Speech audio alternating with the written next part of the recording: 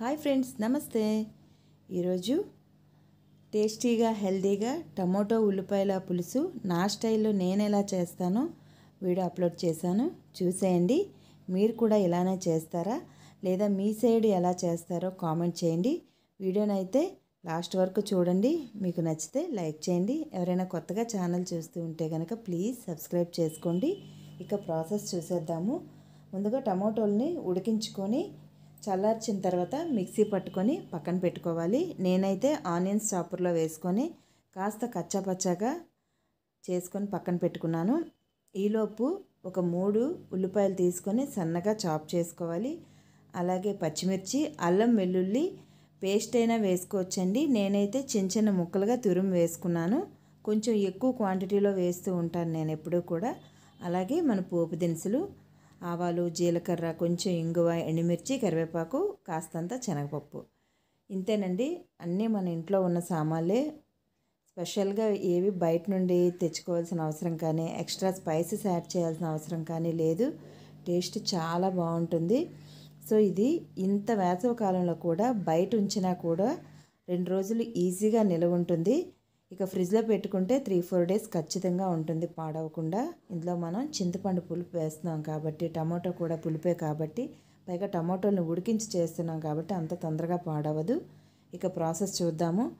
ముందుగా బాండీ పెట్టుకొని అందులో ఆయిల్ వేసుకొని పోపు దినుసులు వేసుకోవాలి. అవి కాస్త ఫ్రై అయిన తర్వాత ఫైన్గా చాప్ చేసుకున్న ఆనియన్స్ వేసుకోవాలి. అవి కాస్త వేగిన తర్వాత పచ్చిమిర్చి వేసుకోవాలి. ఈ పోపు దినుసుల్లోనే ఆల్రెడీ నేను ఇందాక చెప్పాను కదా ఎండుమిర్చి కరివేపాకును కూడా యాడ్ చేసి వేసేసాను. సో ఇక అన్నింటినీ ఫ్రై చేసుకోవాలి. అలాగే అల్లం వెల్లుల్లి తురుము కూడా వేసుకొని వాటిని కూడా ఫ్రై చేసుకోవాలి. ఇవి ఫ్రై అవ్వటం కోసం అని చెప్పి ఉప్పు పసుపు వేసేస్తున్నాను. నేను మొత్తంగా ఇక్కడే వేసేస్తున్నానండి. మళ్ళీ మళ్ళీ వేస్తే ఎక్కువైపోతుంది. క్వాంటిటీ సరిగా తెలియదని చెప్పి ఒకేసారి వేసేసాను. ఇక ఈ ఉల్లిపాయలు కొంచెం మొగ్గాయి అన్న తర్వాత కాస్త ట్రాన్స్పరెంట్ అయ్యాయి అన్న తర్వాత తర్వాత కొంచెం జీలకర్ర పొడి అలాగే కారం వేసుకున్నాను. ఆల్రెడీ మనం పోపులో జీలకర్ర వేసాం కాబట్టి వేస్తే వేయచ్చు లేకపోతే లేదు. నా దగ్గర ఉంది కాబట్టి వేసుకున్నాను. అలాగే ఇదే ప్లేస్లో మీ దగ్గర ఉంటే ధనియాల పొడి కూడా వేసుకోండి బాగుంటుంది. సో ఇక అన్నీ వేసేసుకున్నాము. ఇక లాస్ట్లో టమాటో పల్పు వేసేసుకోవటమేనండి. ఇది కూడా వేసేసుకొని కలిపేసుకొని కాసేపు ఉడికించుకుంటే సరిపోతుంది. ఇప్పుడు మనం ఉప్పు కారాలు సరి చూసుకోవాలి కొద్దిగా ఏమైనా తక్కువైతే యాడ్ చేసుకోవచ్చు. ఇక మనం ఏదైతే జార్లో వేసుకొని టమాటా పలుపు తీసుకున్నాం అందులో మరి కాస్త వాటర్ వేసుకొని మొత్తం మిక్స్ చేసుకోవాలి. ఇక్కడ వరకు టమాటో గ్రేవీ అండి ఇది. మనం మామూలుగా టమాటా పచ్చడి అంటాం కదా పోపు పచ్చడి. సో ఇదేంటంటే ఇడ్లీలోకి కానీ దోశల్లోకి కానీ అలాగే మనం వరిపిండి ఉప్పుడు పిండి అని చేస్తూ ఉంటాము. వరినోకతో కానీ వరి పిండితో కానీ ఉప్పుడు పిండి చేస్తూ ఉంటాము. దాంట్లో కూడా ఇది కాంబినేషన్గా చాలా బాగుంటుంది. ఇక్కడతో ఆపేయచ్చు పచ్చడి అయితే.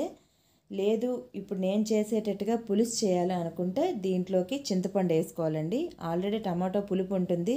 దేశీ టమాటోలు అయితే ఇంకా పుల్లగా ఉంటాయి. బెంగళూరు టమాటో అయితే అంత పులుపు ఉండకపోవచ్చు కానీ దేశీ టమాటో అయితే పుల్లగా ఉంటుంది. సో పచ్చడితో మనం ఆపేద్దాం అనుకుంటే ఇక్కడితో ప్రాసెస్ ఆపేయచ్చు. లేదు పులుసు చేయాలి అనుకుంటే ఇప్పుడు నేను వేసినట్టుగా ఒక నిమ్మకాయ సైజ్ అంత చింతపండు తీసుకొని అంటే ఒక ఫిఫ్టీ గ్రామ్స్ చింతపండు తీసుకొని రసం తీసి వేసుకోవచ్చు. ఇంకాస్త పుల్లగా ఉంటుంది. ఇప్పుడు ఇందులో మీకు నచ్చితే రసం పౌడర్ కానీ ధనియాల పొడి కానీ యాడ్ చేయొచ్చు. లేదు అవసరం లేదు అనుకుంటే స్కిప్ చేసేయచ్చు. నేనైతే ఆ రెండు వేయలేదు.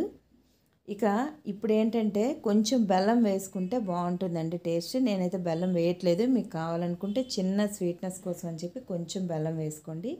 ఇక మన పులుసు అయితే మరిగిపోయింది. ఇక ఫైనల్గా కొత్తిమీర వేసేసుకొని మూత పెట్టి ఒక పది నిమిషాలు వదిలేసి డిష్ అవుట్ చేసేసుకుందాము.